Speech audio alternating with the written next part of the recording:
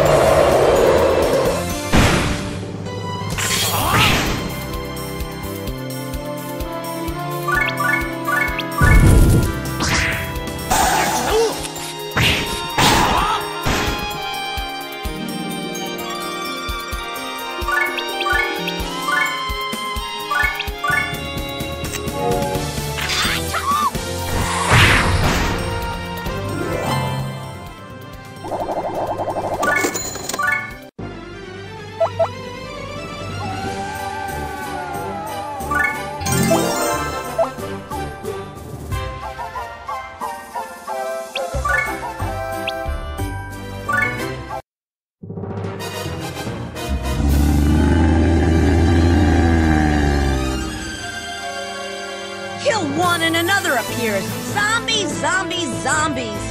I'm getting sick and tired of this. You better stay alert, or else you'll be sorry. Check out that zombie. What about it? Amateur. That is my masterpiece. The fists of a dark karate master. The legs of the fastest demon in the netherworld. The brain of Mahogany, a famous sorcerer. The iron body of Hercules. And a horse wiener! All combined into one. The netherworld's ultimate zombie. What did you say? A horse wiener? Now, that's dangerous! Guys, don't let your guard down!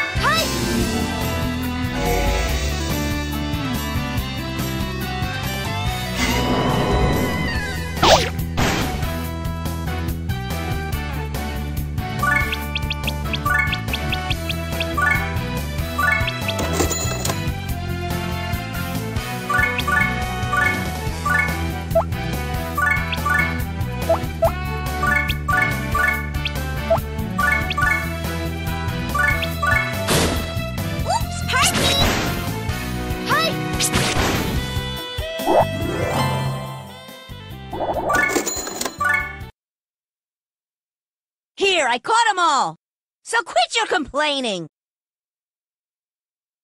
What? What's the problem now? Thank you, Your Highness. Huh. Well, it is part of my job as the Overlord. And don't bother to thank me. If you want to show your gratitude, you can repay me with your body. Hmm, I never knew you were like that. Idiot. I meant become my vassal and serve me when you're old enough. Yes, Your Highness. Speak to me with respect from now on. Got it? Yes, Your Highness.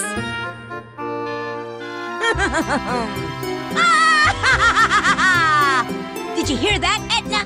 That kid called me Your Highness. So, do you accept me as Overlord now? Well, you passed for the time being. But be careful not to flunk out. Ugh, why you? Talk about strict. Still, Laharl has changed quite a bit since the first time I met him. He is maturing little by little as he meets new people. And it feels like I have changed too, since meeting him and his companions. If you open your heart, you will surely grow and learn many new things, whether you're an angel or a demon. If I can explain this to other angels, maybe they'll see that not all demons are evil. And someday.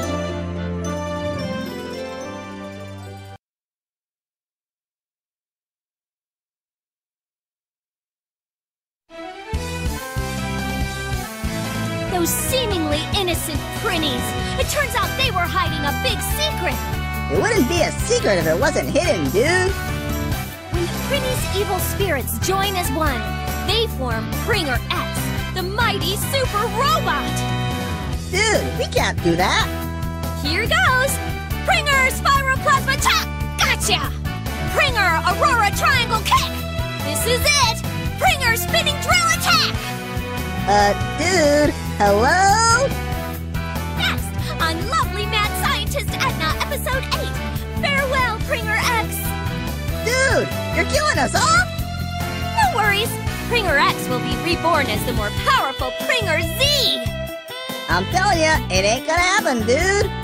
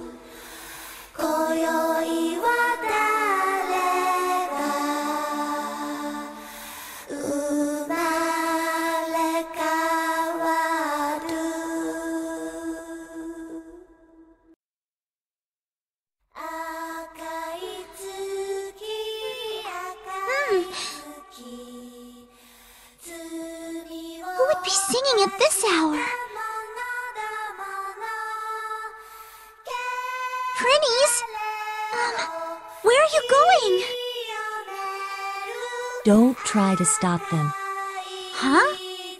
Just let them be. They were finally able to atone for their sins. The only thing we can do now is pray for their happiness in their next lives. Is this what they mean when they say fly by night? Um, Yes? you seem different from other Prinnies.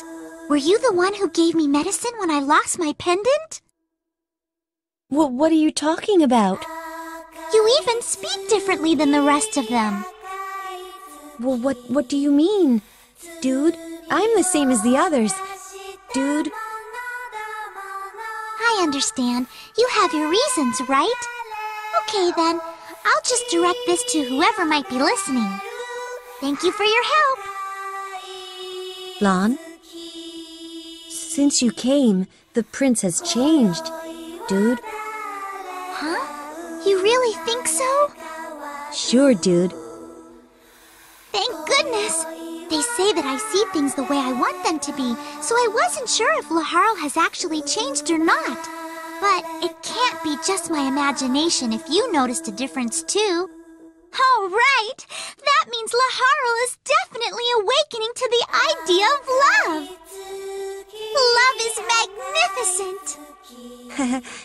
It surely is.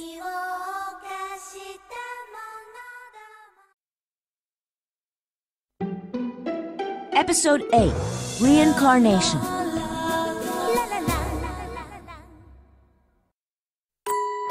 What? Like I said, several Prinnies are missing. Why? How should I know? Maybe they ran away because you treated them so badly. Hmm. Come to think of it, 20 hour workdays with no days off was a bit harsh. In conditions like that, it's no wonder that they chose to fly by night. Fly by night? Is there something you're not telling us? Uh, no, nothing at all. Prince, Hmm? What? don't worry. They'll be all right. Dude, I'm not worried about them. If people hear that I let my vessels escape, I'll lose all respect. That's why we're gonna find them, even if it is a big waste of time. That's so mean! You don't have to say it like that! Take it easy, Flonne. He's just too embarrassed to admit the truth. Really? Yeah, I think.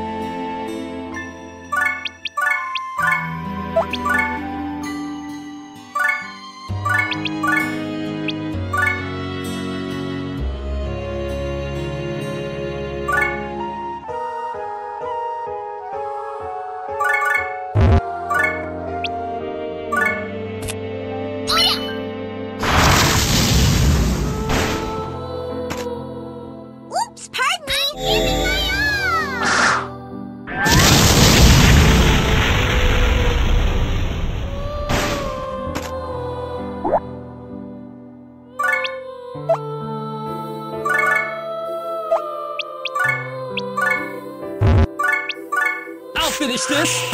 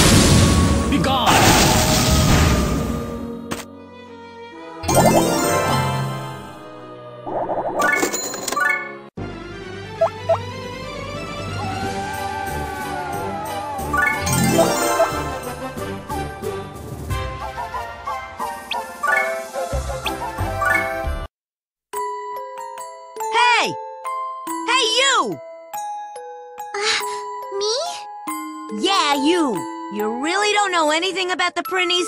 You've been acting weird ever since this morning. I don't know anything. And even if I did, I wouldn't tell you. What? Prince Laharl, I have a name and it's Flonne. It's not Hay or you. You have never called me by my name, not even once, since the first time we met. S- so, what's it to you? People's feelings are delicate. They can be hurt by just the slightest insult. Laharl, you are too inconsiderate. You should approach people with more love. The Prinnies ran away because you have no love. What? You stupid love freak! Who do you think I. There, that's the attitude I'm talking about. You'll never become a respected overlord with an attitude like that. Flonne, that doesn't seem like the kind of advice an angel should be giving. Ugh! What do you know about being an overlord? Forget it, I'm not talking to you anymore.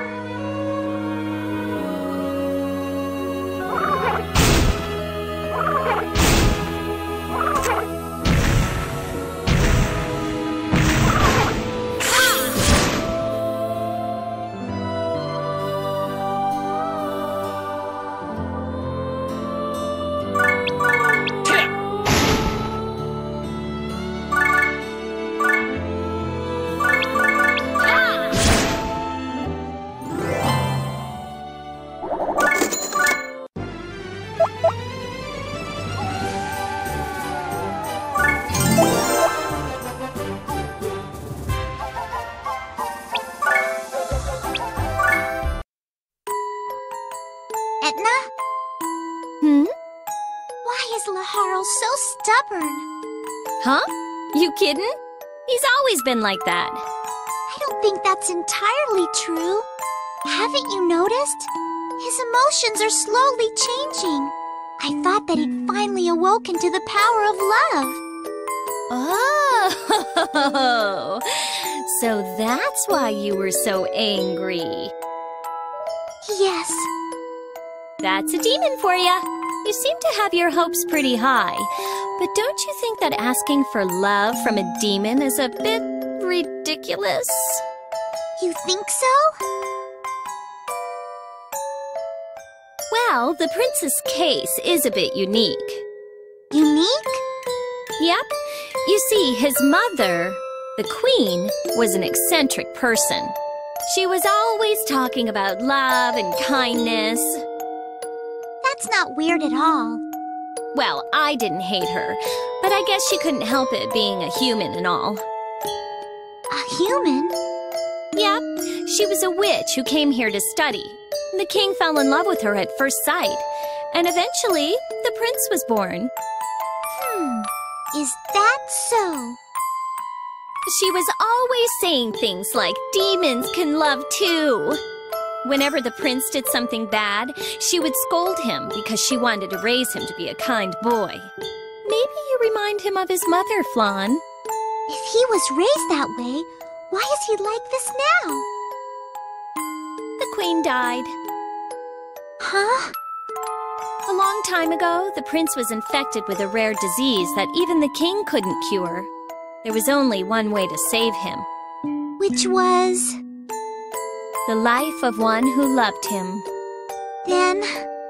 That's right. The queen took her own life, despite the king's efforts to stop her. It was at that point that the prince started to hate love and kindness. How sad. So, unless his hatred fades, Laharl will have to live the rest of his life without love. Oh, that's just not fair. Maybe so, but I don't think that he's intentionally trying to hate love. Hatred isn't something that just disappears that easily, is it? Maybe you were a bit rough on him today. well, don't try to get me involved.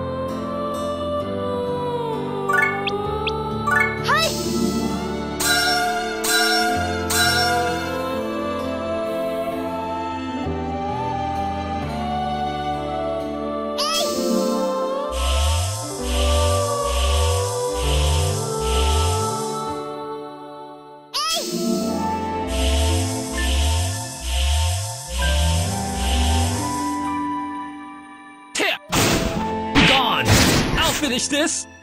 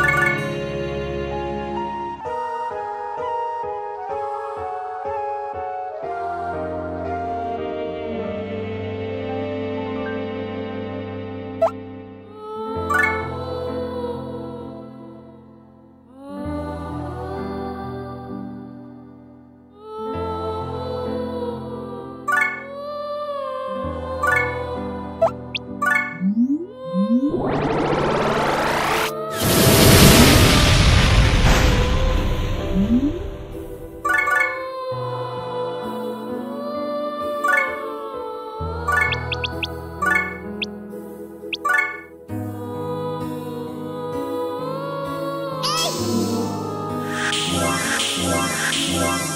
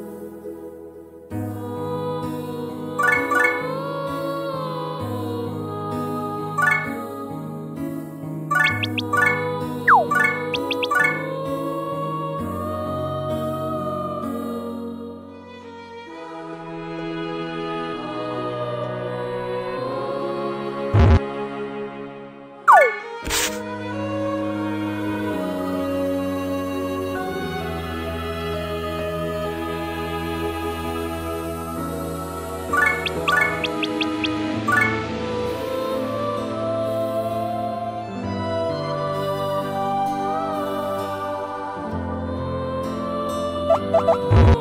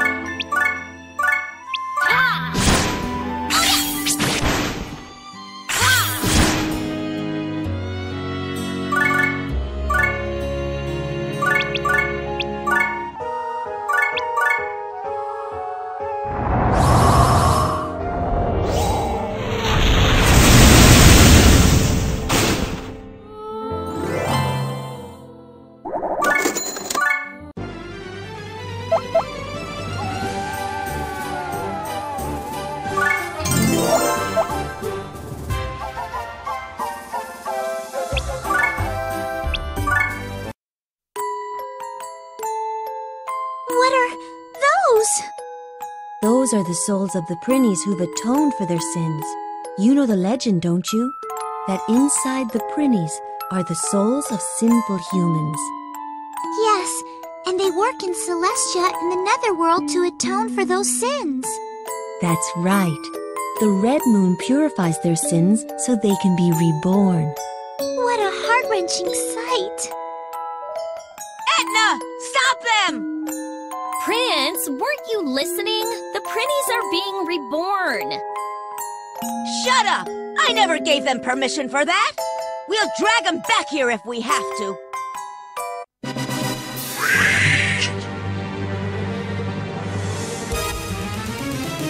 Who are you? Take souls to Red Moon. No one interfere.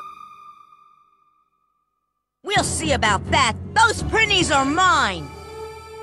They're my vassals for all eternity.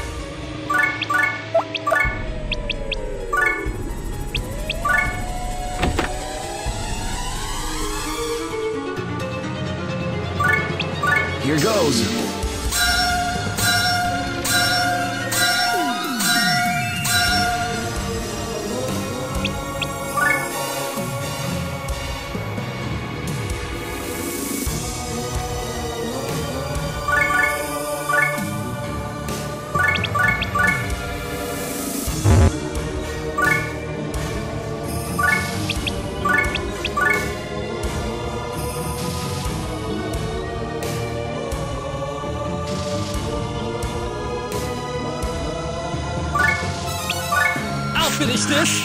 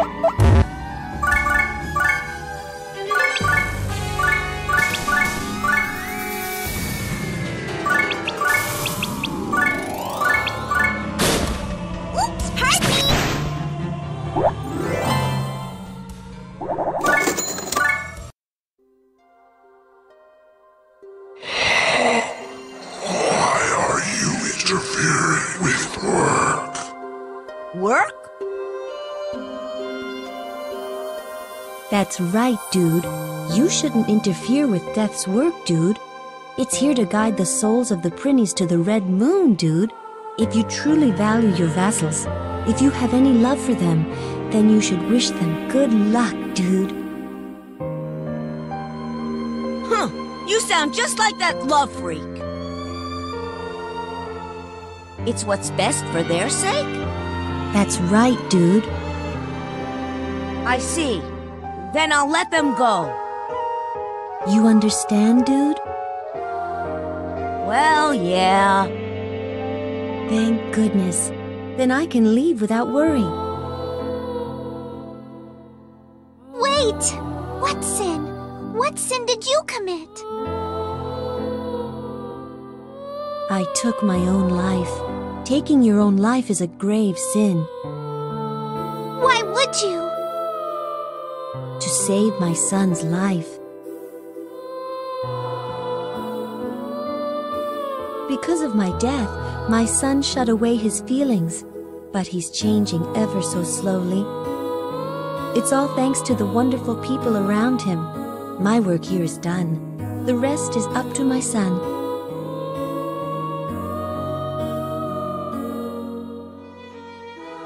You're just going to leave? Not even a goodbye?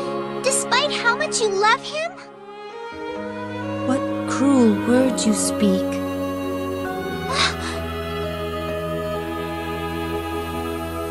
Of course I would like to reveal myself. Of course I would like to hug my son with my own hands. But if we are destined to part again, then wouldn't it be better to watch from afar and leave without a single word? He has suffered enough already. My silence is how I show my love.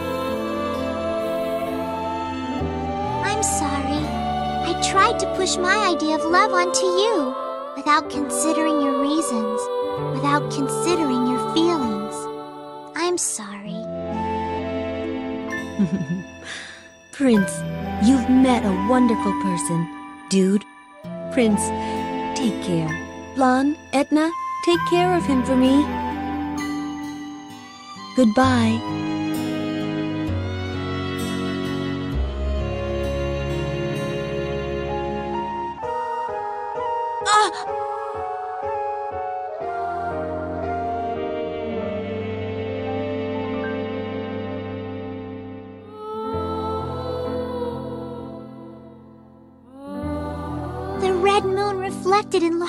Eyes, swaying sadly. A gentle, loving mother who gave up her life to save her son. A son who could only accept his mother's death by denying love and kindness. I can't imagine how painful, how difficult it was for him.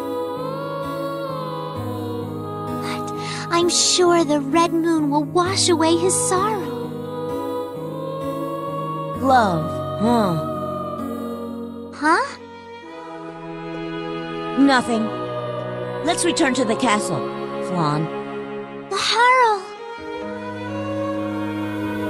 When Laharl called me by my name for the very first time, I noticed that the red moon no longer shone in his eyes. Always remember the sad tale of a mother and her son.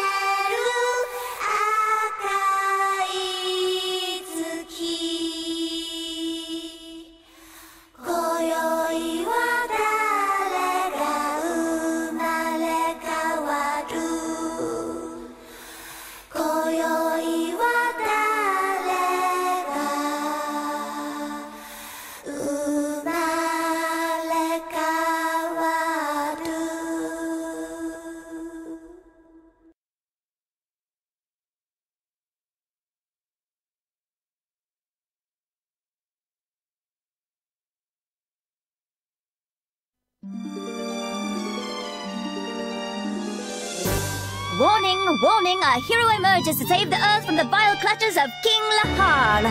His name is Captain Gordon, Defender of Earth. Bonjour! I am your own personal Dark Adonis. With his beautiful sidekick Jennifer and multi-purpose super robot Thursday, Captain Gordon takes the Netherworld by storm. Another fantasy of yours, mademoiselle? Who will win this cataclysmic battle, the evil king or the defender of Earth? Pardon moi, but no one is listening. Next on Mobile Girl Etna Stardust Memoir, Episode 9 Invincible Captain Gordon!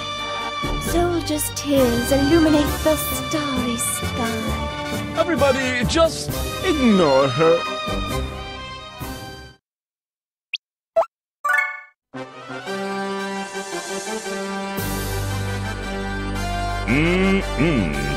Nothing beats having tea in outer space. How beautiful the Earth is. It reflects the nobility of my mission. Jennifer, how much longer before we go into hyperdrive? Let me see, Gordon. About, oh, five minutes? I see. Only five minutes until we say goodbye to the Earth. Are you scared, Gordon? Hey, hey, you're joking, right? Captain Gordon, Defender of Earth, is afraid of nothing. You, of all people, should know that. You've been along on all my adventures. right. Beep, beep, blip, beep. Oh, sorry about that. Of course, I didn't forget you, Thursday. Gordon keeps staring at Jennifer's thighs. Pervert, pervert, pervert. Hey, why you? Tea time's over, Gordon. Ooh, we have an incoming transmission. Looks like it's from the Earth Defense Force headquarters. I'm turning on the holographic projector. Hi, you look good, General Carter. So, what can I do for you, Commander-in-Chief? You're moments away from entering hyperdrive. This will be your last contact with Earth. Do you have any messages, Gordon? Let me think. Tell everyone on Earth to have a grand parade ready for my return. Oh, yeah. Don't forget the Hot Babes and Pizza Shack's teriyaki pizza. We'll see what we can do. I'm sure you don't need me to repeat this, but the Earth's fate is in your hands. We're counting on you. It's nothing I can't handle. How true. I pray for your success, Gordon. Gordon, we're about to go into hyperdrive. Okay, Jennifer. Hyperdrive engine number three ready. All systems go. Now entering hyperdrive. Engage! Engage!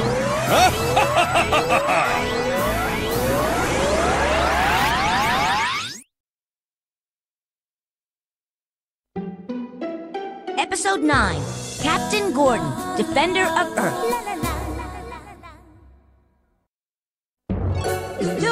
Prince, there's some kind of anomaly in the stellar graveyard. Invaders from another world? I have no idea, dude. Invaders? Are they angels who are here to take me back? I doubt it. That place attracts a lot of weird things besides stars. Flying saucers, probes, brain suckers, midgets with glowing fingertips.